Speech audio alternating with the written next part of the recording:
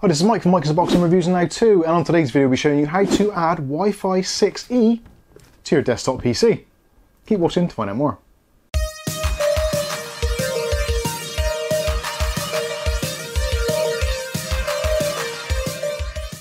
Okay, so in today's video we'll be taking a look at how to add Wi-Fi 6E, that new ratified standard for super fast internet on your PC. Now this has actually been sent to us by a name I struggle to pronounce, Z Ziatod? I'm not too sure. We'll call it Z for short. I think that works out best all round. Uh, there will be links for this in the video description. They haven't asked me to say anything in particular, but they just asked me to um, try it, see what I think of it, and uh, yeah, make a video on it and show you guys how to install it. So that is exactly what we're going to do. But first of all, we'll go through, do a quick unboxing so you know exactly what you get in the box, so you can be prepared and also get things ready for your PC. Now, obviously, this is a PCI Express card, so you will need a PCI Express times one slot available on your motherboard. That is one thing you definitely will have to have.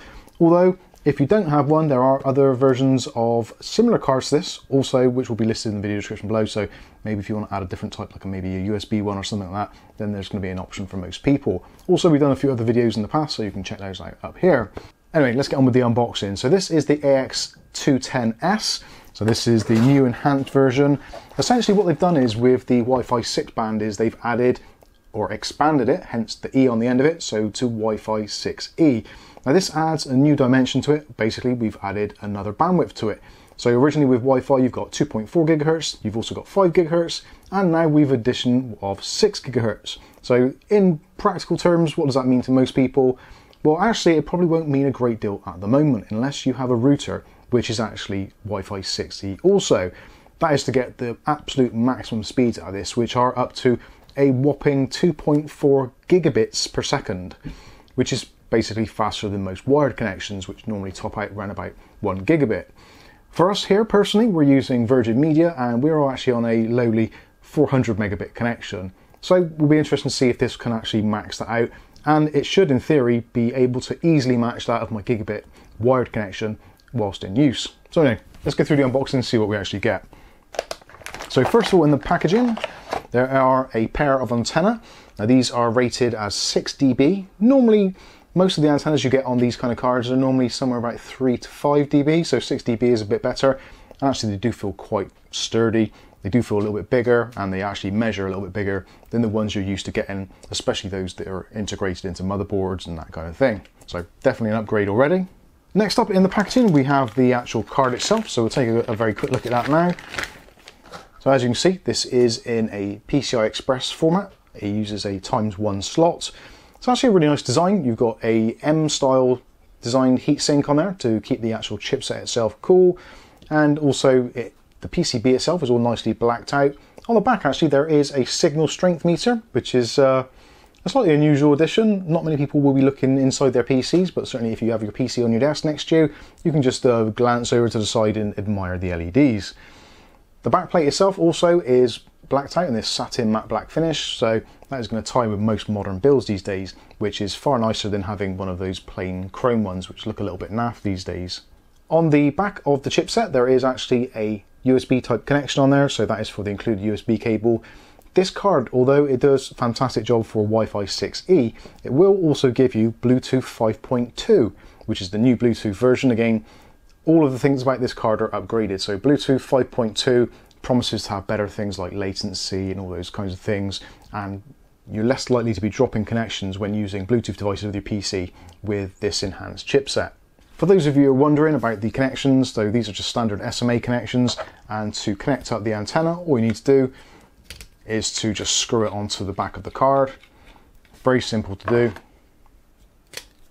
You can do this probably when you've installed it into the PC is probably your best bet and then you can angle them accordingly. So yeah, very good, very simple. And those antennas do feel particularly sturdy. I do like that. You do find some are a little bit on the cheap side and feel like they're going to snap off at any moment, but these actually feel pretty decent. So delving further into the box, we also get a half height PCI adapter. So if you're using this, so if you're using this in a small form factor build or a mini ITX PC, which only has the half height slots, or perhaps you're using one of those Dell or HP units, which come in those really compact towers, then you can swap that over. Everything you need is actually included to do that. Next up is the USB cable. So we've got a USB header on there, which plugs into the USB header on your motherboard. Now this is only for the Bluetooth 5.2. If for some reason you don't want to have Bluetooth on your PC, you can simply not connect that and Bluetooth will not function on this device. Next up, there is an instruction guide, again from the uh, Z company. And it's actually a really nice instruction guide. It's got all color instructions and guidance, etc., etc. But to be honest with you, you won't need that. As long as you're using Windows 10 or Windows 11, then you should find this to be an absolute breeze and will be completely plug and play. Although, if it isn't plug and play for any reason, then they do include a driver DVD or driver CD rather. So that has got the drivers for this particular card and others on it as well. So yeah, nice and easy to do if you've got an optical drive that is. Also included, there's a couple of spare screws in there for actually attaching the mini height bracket to the back of the card. And also conveniently, there's a little dinky screwdriver as well to aid you with that task. So that is pretty much it for what we get. Let's try and install it in the PC, and then we'll do some speed tests, and we'll see if this is actually worth the money. Now, talking of money, at the moment in the UK, these retail for somewhere in around the sort of £40 mark. They do have sales quite frequently as well, so if maybe you're not planning on getting one of these immediately, but possibly getting one in the near future, then definitely bookmark the page on Amazon, and then you'll be notified when the price drops happen. So anyway, that's enough of that waffle. Let's get on with this and install it and see what it's actually like. Okay, so the first thing we need to do is to remove a suitable PCI Express blanking plate from this back section here. So if you look at your PCI Express ports that you've got available, now you can use a PCI Express times one slot, which is what we've got here at the bottom. But if you want to as well, you can use the one just above it there. So that's a full length times 16 slot, but it will also work. So if you've got a times 16, a times four, or a times one, or a times eight slot, you can use it, but ideally try and use one which is not in use and away from the graphics card. If we wanted to use that one, which is next to the graphics card, that might be a little bit tight for the fans, so I would avoid using that. So try and use one lower down in the motherboard, which will be uh, beneficial and give you a bit more room to work with.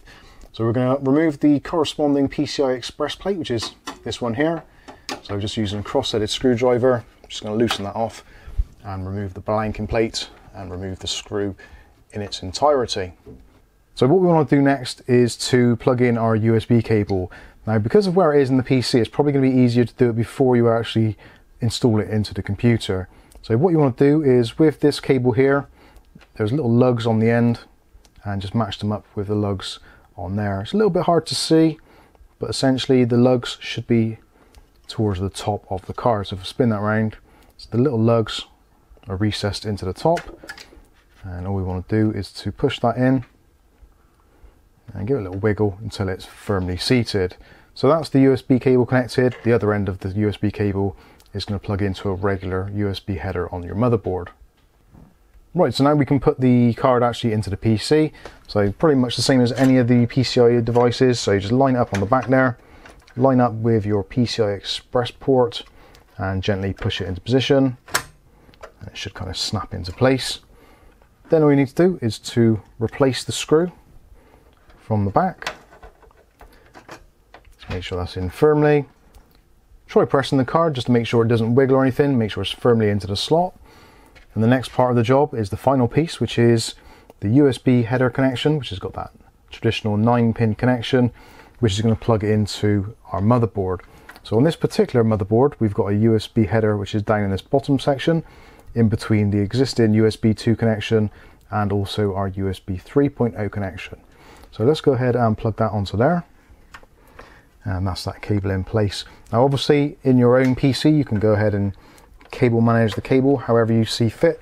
I'm just going to tuck it down underneath the board for now. In actual fact that's pretty tidy. So essentially that is it. All we need to do now, obviously the PCI Express bracket we've removed from our PC. Probably a good idea to put that into your motherboard box or something for safekeeping. I'm going to plug my graphics card back in because I've unplugged that to get a slightly better angle on the card. Other than that, it's just a matter of screwing those antenna into the back of the PCI Express card and turning the PC back on. Okay, so there we go. Very easy to do, very straightforward. Doesn't require a tremendous amount of dexterity, although some glasses may be necessary to find those USB headers. But other than that, very straightforward, very, very quick and easy to do. And I've got to be honest with you, the speeds are incredible. I wasn't expecting it to be quite as good as it is. So we've done a few speed tests on the internet speed test, which you, you, can try it for yourself and actually to see if this is likely to improve your own connection. Now, one thing I should mention as well, personally here, Our Virgin Media router is the slightly older SuperHub, which doesn't actually support Wi-Fi 6E. I don't even think it supports Wi-Fi 6 to be completely honest with you. So we're going to have a, a great deal of difficulty actually saturating the bandwidth on this particular card. But we have been told that Virgin Media are going to be rolling out their new SuperHub 5 in the coming weeks and months. So hopefully when that happens, we'll try and update the video and see what the actual performance is like. Although probably we are still going to be capped pretty much by our 400 megabit connection. But anyway, speaking of our 400 megabit connection, so I did first of all a test, just a standard test to see what it was like on our wired connection. And as you can probably see from some of the results on screen, we were getting somewhere in the region 370, 380 megabits per second, which is actually pretty decent in pretty much what we would expect on a 400 megabit connection, especially being that it's wired through gigabit ethernet, gigabit switches, etc. What was really interesting though is when we actually removed the LAN cable and then installed the card and then ran another test, and uh, I was actually quite surprised. So we actually got uh, very similar results maybe of about 30 or 40 megabytes per second off, but still way over the 300 megabit per second ratings, which, yeah, is fantastic. I don't think I've had a Wi-Fi card before actually get anywhere near that. And actually, one thing I did try after was just to plug in one of those kind of relatively generic, cheapo Wi-Fi adapters that are on the USB card and plugged that in and gave that a test. And that was struggling to get in the region of about 120 megabits per second. So we're getting somewhere in the region of about three times the speed that you'd get from a traditional USB plug-in adapter, which actually for me is uh, pretty groundbreaking. And the fact that we can actually now use a wireless connection in the house, in this room generally, I've said it before and I'll say it again, this room is awful for Wi-Fi. It is absolutely horrendous. It's possibly the worst room in the entire house, apart from possibly our daughter's room, which is upstairs, which has got a router in, ironically. But anyway, I digress. But yeah, this room is generally pretty awful for when it comes to Wi-Fi. So to get the basically the entire speed that we're paying for from Wi-Fi from our Virgin Media router, well, colour me impressed. I'm very, very happy. And I think, to be honest with you, if I was planning to maybe move the PC to somewhere else in the house, a bit further away, or another room where there wasn't a wired connection and I had to use a Wi-Fi connection, don't think I'll have any problems at all recommending getting this Wi-Fi card. It does appear to do exactly what it says on the tin. So let me know what you think about this one in the comments section below. Are you using Wi-Fi? Also, do me a favor, test your Wi-Fi speeds on your existing setup. Let us know in the comments what your incoming broadband speed is in megabits per second, and then tell us what you're getting on your Wi-Fi reception, and maybe if you're trying it on a few devices, hey, list a few of them on there. It's very interesting to see what kind of speeds you guys are getting out of your routers at home. So anyway, that's going to wrap this one up. Thanks very much to uh, yeah, the company that I've struggled to pronounce for sending us for review purposes. Hopefully there's more to come. So, I've been Mike, this is Mike's Unboxing Reviews and How To, and hopefully we'll catch you in the comments section. Thanks for watching.